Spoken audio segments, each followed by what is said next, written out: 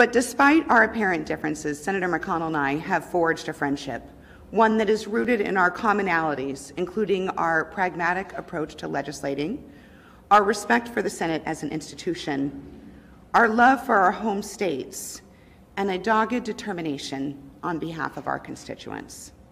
You know, in today's partisan Washington, it might shock some that a Democratic senator would consider the Republican leader of the Senate her friend, but back home in Arizona, we don't view life through a partisan lens. Arizonans understand that while we may not agree on every issue, we do share the same values. Well, that's one thing that she said that's true, actually. That was Democrat Kyrsten Sinema speaking at the McConnell Center at the University of Louisville after she was invited by Mitch McConnell, a Republican. And just keep in mind that she's chumming it up with the Republican Party leader during an election season. I get that she doesn't align with most Democrats because she's functionally a Republican, but maybe find one moderate Democrat to campaign with. Not that they'd want her on the campaign trail stumping for them because she's very unpopular, but maybe pretend as if you're not batting for the other team. I mean, imagine for a moment that a Republican chose to show up to an event with Chuck Schumer where they both exchange compliments and they talk about how reasonable the other is during an election season. I mean, Republicans would be outraged. Trump would be attacking them. Their career would be over. But for Democrats, apparently, this is something that is celebrated by the right, even though Mitch McConnell would never let one of his members do what Kyrsten Sinema is doing. And the thing that irritates me the most is the way that she frames this as, you know, she is aligned with Mitch McConnell for altruistic reasons. She is aligned with him because they're both above the fray. You know, this climate of hyperpolarization that he created it's, you know, something that we don't necessarily have to abide by. But she says this not just campaigning with any Republican. Again, Mitch McConnell is the individual who exacerbated the hyperpolarized, hyperpartisan state in Washington, D.C. that we see right now. He stole multiple Supreme Court seats from the other party. And we're supposed to believe that Mitch McConnell, of all people, is above hyperpartisan politics. I mean, it's it's borderline parody at this point, but that's where we are. She also said uh, that her and Mitch McConnell have a pragmatic approach to legislating, a respect for the Senate as an institution, and a dogged determination for their constituents. Well, if that were true, don't you think that your constituents would like you more? Because Kyrsten Sinema is very, very unpopular among her own party among her own constituents. And she made a joke during this event that was a little bit too on the nose. Take a look. So, as you all know, control changes between the House and the Senate every couple of years. It's likely to change again in just a few weeks, right? Um, and so, when the House passes legislation, it represents that kind of rapidly shifting. Was that everything's fine, right? Great. Not everyone likes me, so just check in, you know? well, at least I'm glad that she knows how unpopular she is. She said, Not everyone likes me, but more specifically, nobody likes you because when it comes to every single demographic, she is losing handily. As inside elections analyst Jacob Rubashkin points out, Kyrsten Sinema is unpopular among everyone. Sometimes it seems like she's trying to please nobody, and if so, she's succeeding. Sinema is 20 points underwater among Democrats, 10 points underwater with independents, and 18 points underwater among Republicans. Now, take a moment to soak in this poll here.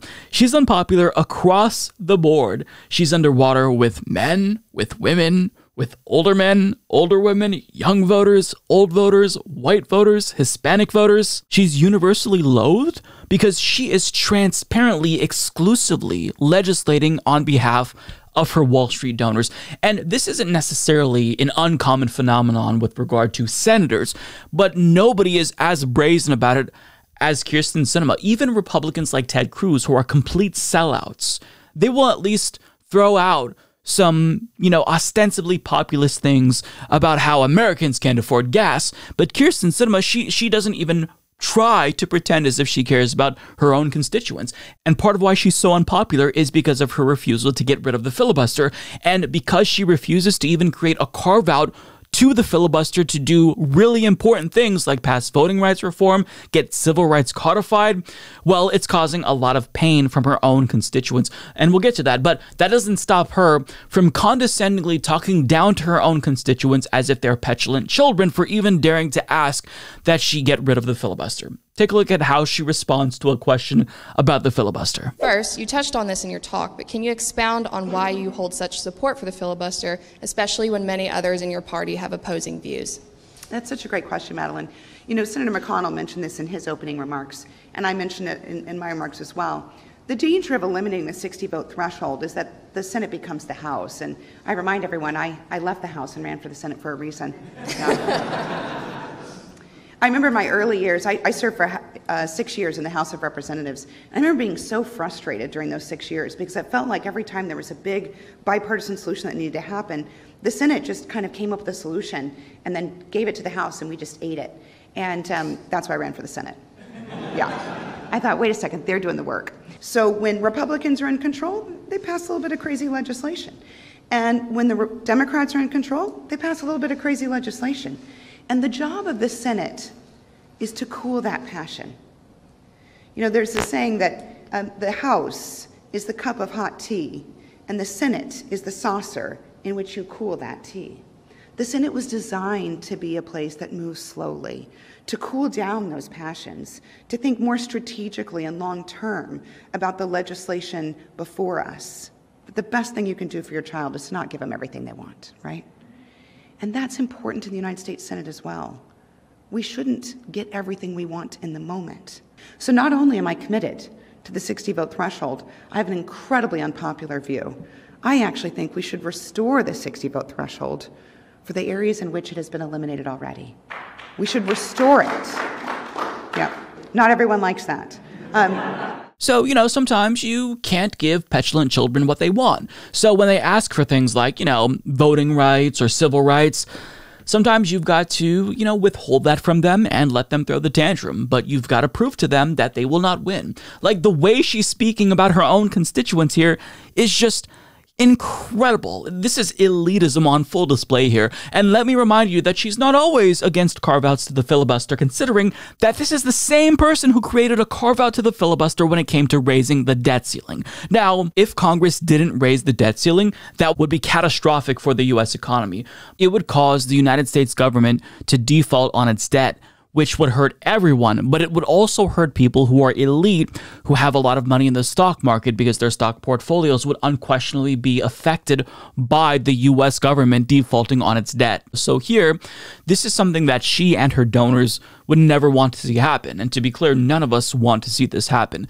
But the problem is that the only reason why she cared in this instance is because it personally affects her. It could harm her too. But when it comes to her own constituents, she doesn't care if the filibuster is hurting her own constituents. So, for example, let me show you what her refusal to get rid of the filibuster, or at least create a carve out to the filibuster at a minimum, is doing to her own constituents. As Caitlin Cruz of Jezebel explains, Arizona can officially enforce a near total abortion ban that existed more than a decade before it would join the United States as its 48th member. On Friday, a state court judge in a southern Arizona county lifted an injunction allowing a 1901 abortion ban to go into effect while failing to clarify how this change will interact with dozens of anti abortion laws already on the books. A version of this law was first passed in the territorial legislature back in 1864, but was amended in 1901. Arizona joined the Union in 1912. When Roe v. Wade was decided in 1973, the courts dropped local litigation surrounding the law because of the Supreme Court decision. The law carries two to five years of prison time for anyone who provides, supplies, or administers to a pregnant woman or procures such woman to take any medicine, drugs, or substance, or uses or employs any instrument or other means, whatever, with intent thereby to procure the miscarriage of such woman. The law's only exception is a very narrow, very vague exception for life of the patient, literally stating, unless it is necessary to save her life, the ruling will likely be appealed. And just to be clear, this law provides no exceptions for rape and incest. Now, Kyrsten Sinema today she could get rid of laws like this by agreeing to at least create a special carve out to the filibuster so they can codify Roe v. Wade and make sure that women in her state are able to control their own bodies. but she's not doing that. She's saying, mm, nope, sorry, rules are rules. And sometimes, you know, these children, they're going to want their civil rights, but you've got to withhold that from them.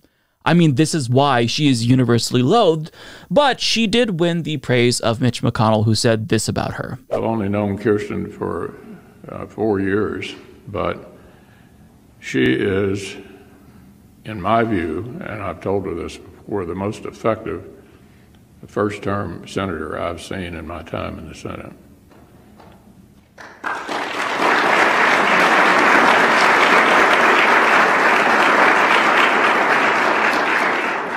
She is today what we have too few of in the Democratic Party a genuine moderate and a deal maker.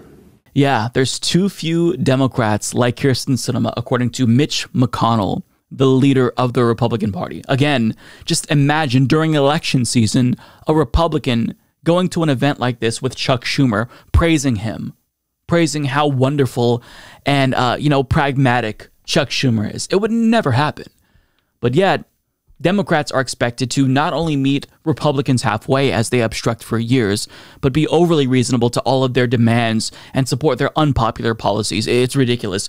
So, Kyrsten Sinema is a terrible human being. She's opportunistic, and I genuinely hope that she does seek reelection uh, when she's up, uh, because I would like to see her get completely obliterated in a Democratic Party primary. I understand that it doesn't matter because she probably doesn't care about her reelection. And even if she runs and she loses, she's going to become a lobbyist because she has absolutely delivered to her donors on Wall Street. But either way, it'd be nice to feel the satisfaction of knowing that she gets landslided in a Democratic Party primary. So I would absolutely love to see that. But either way, she doesn't care because she's getting what she wants, and the Republicans are very enthusiastic about her because she's delivering what they want, and that is delivering an obstruction of the Democratic Party's agenda. And she's learned from the best, like Mitch McConnell, who she calls a friend. Just truly vomit inducing, a cursed event that I uh, wish I could purge from my mind.